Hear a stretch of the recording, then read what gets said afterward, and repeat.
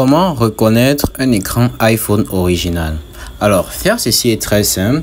Tout d'abord, vous devez baisser votre liste d'options comme ceci. Et sur cette liste d'options, vous allez maintenir sur le petit soleil qui est la luminosité de votre écran. En faisant ceci, vous verrez de nouvelles options s'afficher en bas comme mode sombre, night shift et true tone. Alors, normalement, si vous cliquez sur true tone pour un écran original, vous verrez true tone s'afficher en bleu. Et si lors de la vérification de ceci, vous ne voyez pas l'option True Tone, ceci signifie que votre écran iPhone n'est pas original.